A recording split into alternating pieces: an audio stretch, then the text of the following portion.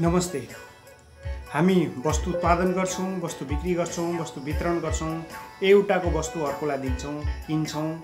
आखिर वस्तु बिक्री सम्बन्धी करार कस्तो हुनुपर्छ त वस्तु बिक्री सम्बन्धी करार नेपालको कानुनमा के छ भनेर हेर्दाखेरि कानुनलाई सरसर्ती हेर्दाखेरि मुलुकी देवानी संहिता दुई हजार चौहत्तरको परिच्छेद छ। वस्तु बिक्री सम्बन्धी करार छ र वस्तु बिक्री सम्बन्धी करारले वस्तु कसरी हस्तान्तरण गर्ने त्यसको प्रक्रिया के छ भनेर व्याख्या गर्छ। आखिर वस्तु बिक्री करारमा के छ त? वस्तु बिक्री करारलाई हेर्ने भने दफा पाँच सय पैँतालिसमा यो वस्तु बिक्री करार सम्बन्धी छ। वस्तु बिक्री सम्बन्धी करार भएको मानिन्छ भनेर चाहिँ सुरुमा उल्लेख गर्छ। त वस्तु बिक्री करार भन्नाले के भन्ने भने कुनै विक्रेताले मूल्य लिई कुनै विक्रेताले मूल्य लिई कुनै वस्तु क्रेतालाई तत्काल हस्तान्तरण गर्न वा भविष्यमा हस्तान्तरण गर्न मन्जुर गर्न वस्तु बिक्री करार भएको मानिनेछ भनेर चाहिँ भन्छ। क्रेताले किन्नको लागि विक्रेताले बेच्नको लागि वर्तमान अथवा भविष्यमा गरिने सम्झौता नै वस्तु बिक्री करारको रूपमा मानिन्छ। यस परिच्छेदमा के भन्छ भने वस्तु भन्नाले तत्काल प्रचलनमा रहेको वस्तु भन्नाले के हो त भनेर क्वेसन उठ्छ। वस्तु भन्नाले तत्काल प्रचलनमा रहेको मुद्रा धितोपत्र उजुरी कार्यान्वयन गर्न सकिने दाबी र एक्सनेबल क्लेम र बाहेक खरिद बिक्रीसँग सम्म हुन सक्ने सम्पूर्ण सम्पत्तिहरू सम्झाउनुपर्छ भनेर चाहिँ भन्छ। अथवा वस्तु बिक्री करार गर्न शर्त बिना शर्त सहितको शर्त तिन प्रकारले शर्त सहितको बिना शर्तको र भविष्यमा शर्त लागु हुने गरी पनि वस्तु बिक्री करार गर्न सकिन्छ। विक्रेताले स्वामित्व भोग चलन र तत्काल कायम रहेको वस्तु वा निजले भविष्यमा प्रयोग गर्न सकिने उत्पादन तथा उत्पादन जन्य वस्तुहरू पनि बिक्री वितरण गर्न सकिन्छ। जस्तै तिमीले असारमा धान रोप्यौ धान रोप्दाखेरि म खर्च गर्छु पछि धान पाकेपछि मेरो खर्च को हिसाब किताब गरौँला भनेर कसैले सम्झौता गर्छ भने त्यसलाई वस्तु बिक्री करारको भविष्यको सम्झौता फ्युचर एग्रिमेन्ट भनेर भन्न सक्ने अवस्था छ।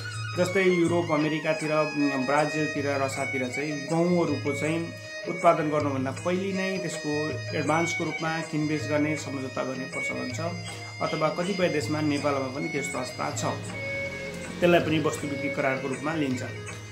अब वस्तु बिक्री करार गर्दाखेरि कस्तो अवस्थामा बदर हुन्छ त? त्यो कुरा पनि हामीले थाहा पाउनुपर्छ। वस्तु बिक्री करार बदर हुने चाहिँ करार हुँदाको बखत सोभन्दा अगाडि नै त्यस्तो वस्तुको हानि नोक्सानी भएमा सो विक्रेतालाई करार गर्दा बखत थाहा रहेनछ भने त्यस्तो वस्तु बिक्री करार रद्द हुन्छ। अथवा खास किसिमको वस्तु छ अथवा मानिलिउँ साग साग छ। साग चाहिँ उत्पादन भयो। उत्पादन हुँदाखेरि त्यो चाहिँ घरकी आमाले बिक्री गर्नुभयो। तर अगाडि नै अर्कै अर्कैलाई बाबाले बिक्री गरिसक्नु भएको रहेछ र भोलि अर्कैले साग लग्यो भने त्यो वस्तु साग निवेश गर्ने करार चाहिँ आमाले गरेको करार चाहिँ भङ्ग हुन्छ। अथवा वस्तु मूल्य निर्धारण गर्ने। अर्को कुरा चाहिँ वस्तुको मूल्य निर्धारणमा समस्या भयो भने करारनामाको मन्जुरी अनुसारको वस्तु भएन भने अथवा मन्जुरी भन्दाको अवस्थामा फरक किसिमको रह्यो भने त्यस्तो अवस्थामा पनि करार भङ्ग हुन सक्छ। वस्तु निर्धारण गर्ने। वस्तुको जुन क्वालिटी छ क्वान्टिटी छ त्यसको परिणाम र त्यसको अवस्थाको फरक परेमा पनि वस्तु करार चाहिँ भङ्ग हुनसक्छ वस्तुको चुक्ता गर्नुपर्ने यदि चुक्ता गर्नुपर्ने मूल्य चुक्ता गरेको छैन भने पनि वस्तुको करार भङ्ग हुनसक्छ क्रेताले आफूले खरिद गरेको वस्तुको मूल्य विक्रेता वस्तु खरिद गर्दा बखत वा पछि हस्तान्तरण गर्दा बखत तिर्ने भन्ने सम्झौता भएको छ। हुन्छ र त्यस्तो खालको अवस्था भएन भने पनि हुन् त्यसलाई चाहिँ खराब भङ्ग हुन सक्छ। एक्सन त्यसमा अर्को पद्धति चाहिँ वस्तु बिक्री करारसँग जोडिएका cheque draft letter of credit bank draft credit card telegraphic transfer आदि इत्यादि अनलाइन पेमेन्ट आदि इत्यादिले पनि त्यो वस्तु करारको कुरामा चाहिँ कहिलेकाहीँ त्यो अनुसारको प्रक्रिया नपुगेमा चेक दियो चेक साटिएन भने पनि वस्तु करार भएको मानिँदैन भन्ने कुराको अवस्था रहन्छ र त्यसलाई कानुन मुताबिक त्यसको प्रक्रियामा जान्छ वस्तुको विवरणको बारेमा उल्लेख गर्नुपर्ने कुरा हुन्छ सो ब्रान्ड अथवा त्यसको स्पेसिफिकेसन अथवा त्यससँग उत्पादन ट्रेडमार्क अनि कपिराइट्सको करार आदि इत्यादिमा पनि त्यसको हस्तान्तरण गर्ने या नगर्ने विषयमा पनि छलफल हुन्छ भने अथवा त्यसको मन्जुरी आदान प्रदान हुन्छ भने त्यसलाई पनि हुन्छ। जस्तै एलजी कम्पनीको टे टेलिभिजन छ त्यसको वारेन्टी ग्यारेन्टीको कुरा चाहिँ छ तर वारेन्टी ग्यारेन्टीको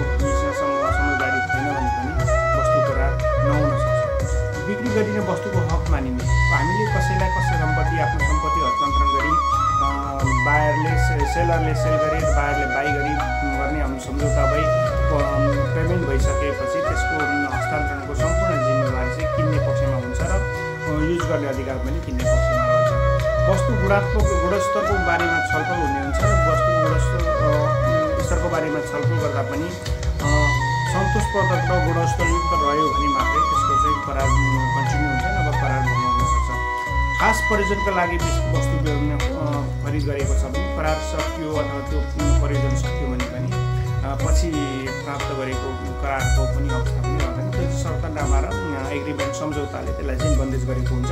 त्यही अनुसार काम हुन्छ। कुनै खास वस्तुको गुणस्तरको करार सम्बन्धी छ भने गुणस्तर कायम नभए भने करार भङ्ग हुन्छ।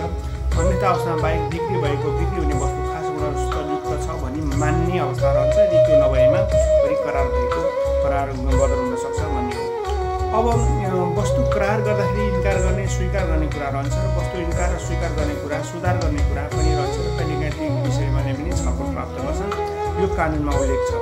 नमुना यदि बिक्री वितरण गर्ने कुनै पनि वस्तुहरू चाहिँ वस्तु ल्याउन सकिँदैन वस्तु एकचोटि ल्याइसकेपछि किनेरै ल्याउनु पर्ने अवस्था हुन्छ। ठुल्ठुला प्रोजेक्ट प्रोजेक्टका प्लान्टहरू मेसिनहरू ठुल्ठुला सामानहरू अथवा अहिले चाहिँ ड्याममा देखाउने र त्यही अनुसारको स्टोरमा ल्याइदिने प्रचलन छ त्यस्तो अवस्थामा पनि नमुना र वस्तुको फरक परेमा पनि त्यस्तो कुराहरू आउँछ सक्दैन।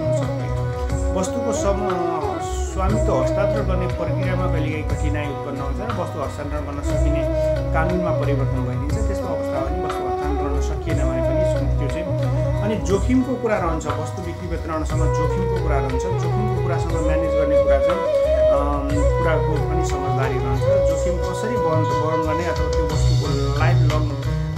क्यापेसिटी लाइफ कति छ भन्ने कुरासँग जोडिन्छ र त्यो कुराहरूको पनि समझदारी अनुसारको भएन भने वस्तुको करार चाहिँ भङ्ग हुन सक्छ।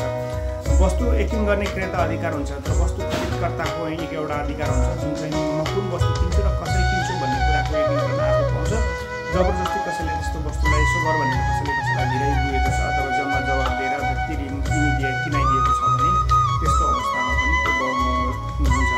अब वस्तु करार गर्दाखेरि बुझिलिनेले त्यसको प्रक्रिया पुर्याइदिनुपर्छ भन्ने मान्यता राखिन्छ र वस्तु किनभने करार गर्दाखेरि बुझिलिनेले वस्तु करारमा कुन कुन वस्तु कसरी कसरी बुझ्ने हो भन्ने कुरो कानुन मुताबिक बुझ्ने कुराहरू हुन्छ र त्यो कानुन मुताबिक बुझ्ने कुरामा चाहिँ का खरिदकर्ताले त्यसरी नै बुझ्नुपर्छ र विक्रेकर्ताले त्यसरी नै बुझाउनुपर्छ भन्ने एउटा मान्यता रहन्छ त्यो अनुसार भएन भने पनि वस्तु करार चाहिँ भङ्गाउन सक्छ।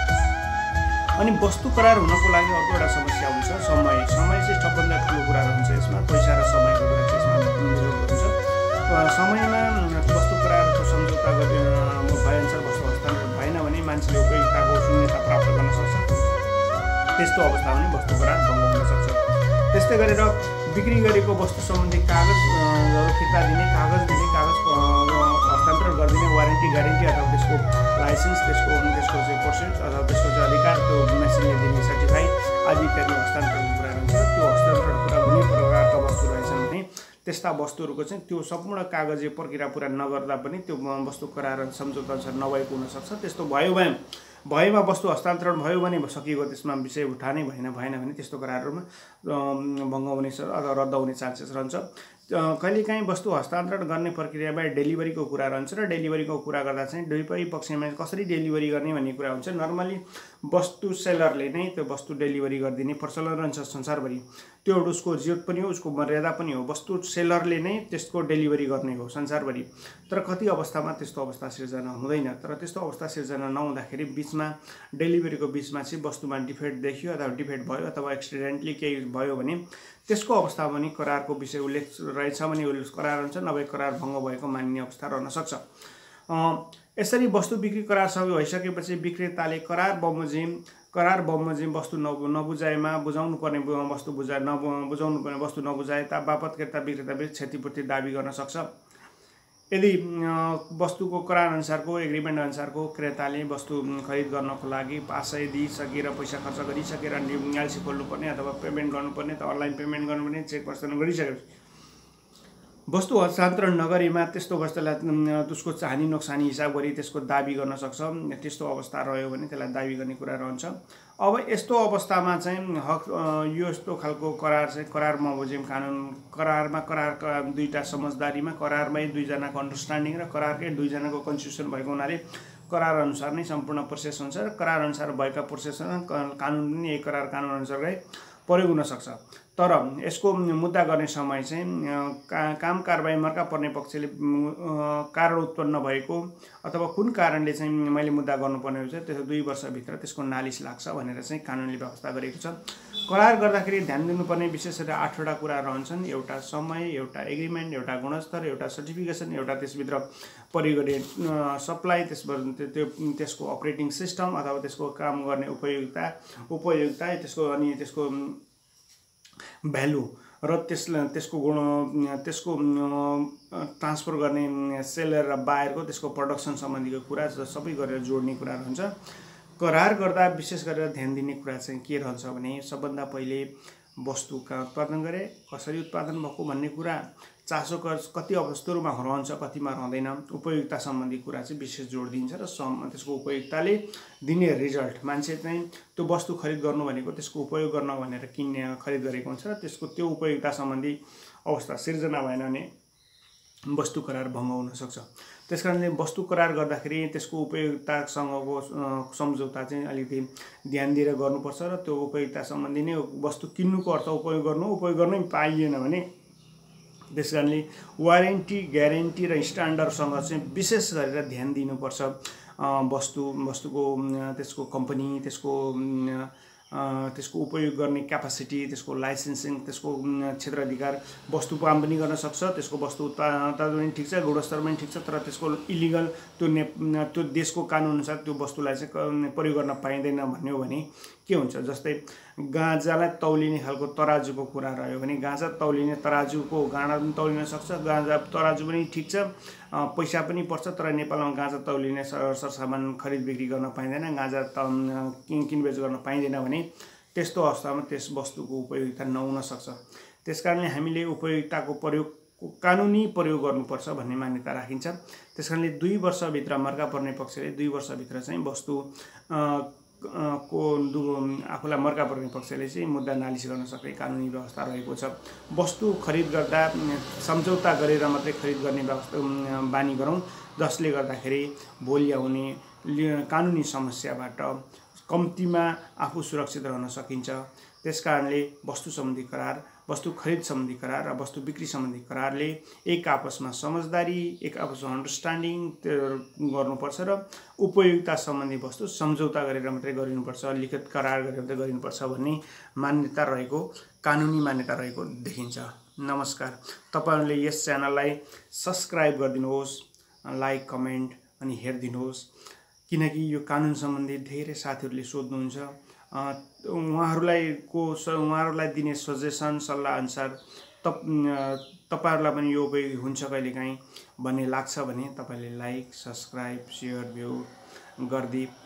यो च्यानललाई सहयोग गरिदिनु होला। तपाईँहरूलाई पनि यस्तै यस्तै अरू जानकारीमूलक कार्यक्रम चार जानकारीमूलक सूचना चार कानुनी सूचना अथवा यो भिडियो किताब प्रस्तुत गर्दै जानेछौँ। जहाँ तपाईँलाई जे कुराको बारेमा जानकारी चाहेको छ त्यस बारेमा कमेन्टमा लेखी पठाइदिनु भयो भने हामीले त्यो त्यस अनुसारको भिडियो तयार गरी के कानुनमा के छ भन्ने कुरो जानकारी तपाईँलाई दिनेछौँ दिने नै छौँ। भन्दै आजलाई बिदा हुन चाहन्छौँ। जहाँ रहनुहोस् सुखी रहनुहोस् समृद्धि हुनुहोस्। जय नेपाल।